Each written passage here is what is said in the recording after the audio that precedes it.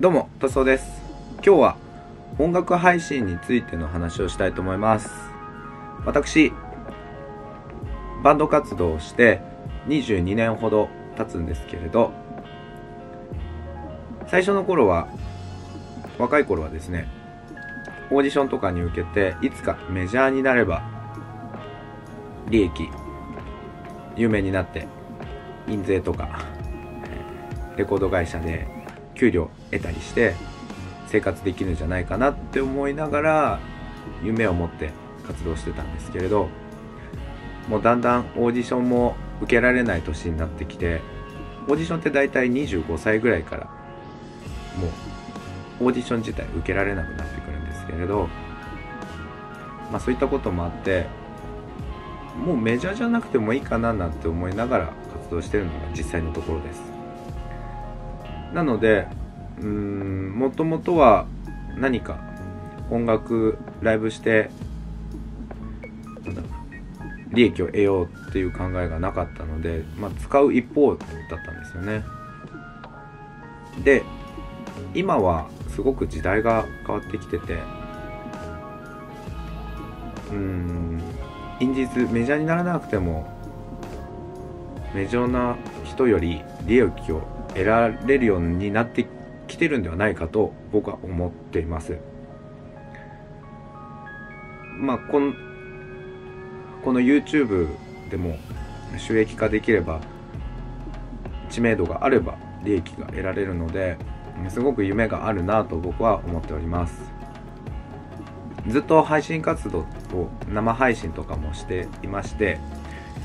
ツイキャストショールーム、えーその他にもいっぱいふわっちとか LINE ライブリゴライブ17ニコ生とかいろいろ配信もやってみてツイキャストショールームに関しては、うん、数万円ぐらい月もらえるほどの利益を得たこともあったんですよ。でそれはその利益で夢があるなと思うんですがバンドに関しては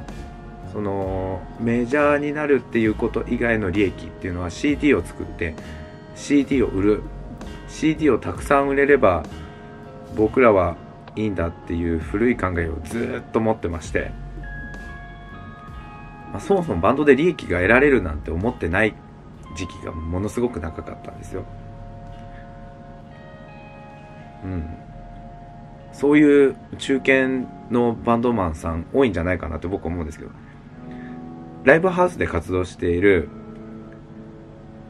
バンドマン100人いたらもう90人ぐらいは音楽では生計は立ててないのが実際のところなのでほぼみんなバイトをしてたりとか他にちゃんとした職業を持ってる人が活動してるのが経験上言える僕ののが実際なところだと思います。僕もバイトしてますし。でバンドでどれぐらい稼いでるかっていうとほんと少ない金額です。でバンドでどれぐらいお金をかけてるかっていうとリハーサルをしたりするのでスタジオ代がかかったりスタジオ1時間で2000円ぐらいするんですよ。それを何時間も入って何日も入ったりしたりして交通費もかかりますし、えー使っている機材も、えー何十万もするものを使ってたりとか、えーまあ備品もねあとメンテナンス、えー弦を変えたりとかもしないといけないので弦も1つ500円ぐらいするものですからね。うん。で、えーライブをするってなるとライブをするにもライブハウスでまあ、今はほとんどないですけどノルマがあったり昔はね20枚のノルマで2000円1800円とか2000円で持たされてそれを売り切らないと自腹でそのチケット分、えーライブハウスにお金を払わなきゃいけないっていうシステムがありましてね今もあるんですけれどはい。でまあその日お酒を飲んだりもしますし打ち上げもしたりするのでもうね23万1日で吹っ飛ぶんですよ。ライブをすると。当時は。今はねだいぶ減りましたけど今言ったようにノルマがなくなったりとか、えーまあノルマ以上お客さんが来ることもありますしえー、仮にノルマがあったとしてもノルマ以上のお客さんを呼ぶっていう気持ちでライブをやったりもしますしあとはえー、とそうだな、うん、飲み物もお客さんがおごってくれたりとか しますしね。はい。だいぶ減ったんですよ。利益に関しては、まあ、CD を売るっていうので利益を得たり、まあ、利益はないなほとんどな CD 売れないですからね今 CD は。はい。インディーズの方がでも売れてたりするのかなどうなんでしょうね。グッズ感覚で買ってくださる方多いですからね。グッズもねはい。えー、と利益にはなりますし。でもビビったるもんだな。ライブでお客さんが来てくれるとチャージバックっていうものがあって、えー、2000円のチケットで半分返してくれたり1000円くれたりとかもするんですよ。なかなかハーフバックはないかな。うん。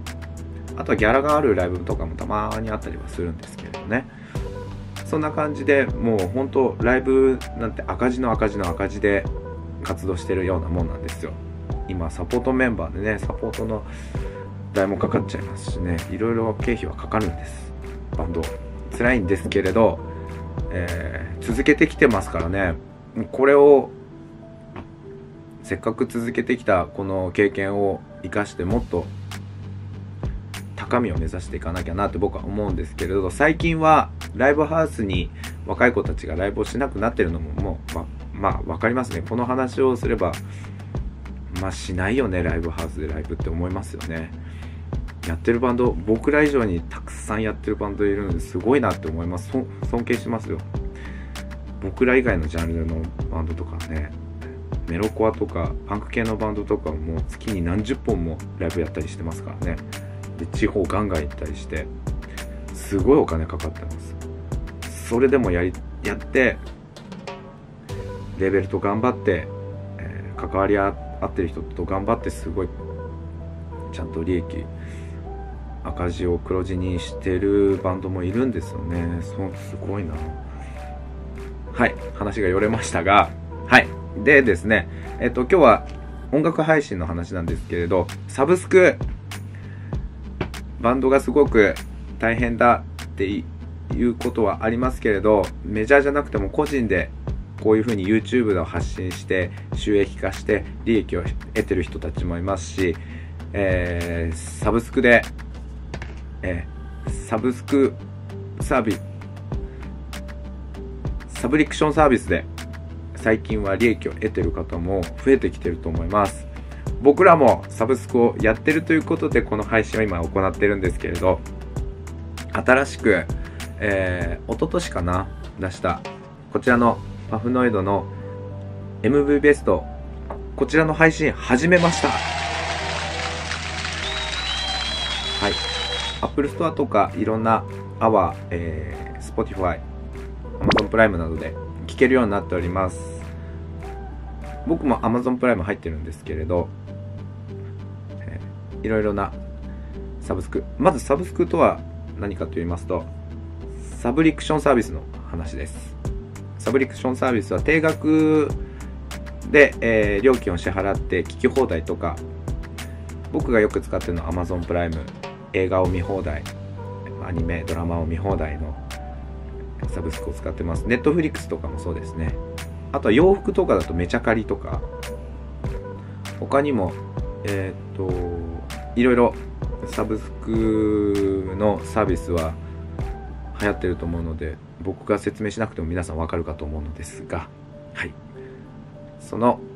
音楽、音楽が一番流通してるのかなサブスク。はい。パフノイドも始めております。こちらの新し,、えー、新しくこちらも配信になりましたので、ぜひ聴いていただけると嬉しいです。これ聞くだけで僕らにお金が入ってくるんですよ、サブスクで聞くだけで。ダウンロードだともっと入るんですけどね。ぜひぜひ、プレイリストにパフノイドの曲入れていただけると嬉しいです。僕的にはこれ名盤だと思っております。もう A 面曲、目白押しっていうか A 面曲をまとめたもんですからね、これね。はい。サブスクで聴いていただいても嬉しいですし、こちらの YouTube の方でミュージックビデオ、えー、全部入っており、全部聴けるようになっておりますので、え聞いてやってください。YouTube ミュージックでも聞けるのかな？はい。映像いらねえよっていう方はぜひぜひサブスクで聞いてやってください。ということで、今日は話がちょっとブレブレで申し訳ないんですが、はい。何が言いたいかっていうと、僕はもっと知名度上げて、配信活動ガンガン頑張って、え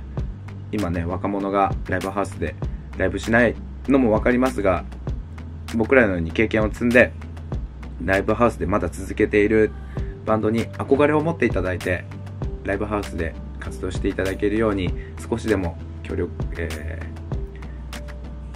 ライブハウスシーンに力、えー、協力できるように頑張っていきたいと思います。中堅バンドまだまだ、えー、諦めないで、夢ある音楽活動頑張っていきましょう。では、最後までご視聴ありがとうございます。今日はこんな感じで、またお会いしましょう。とつおでした。さよなら。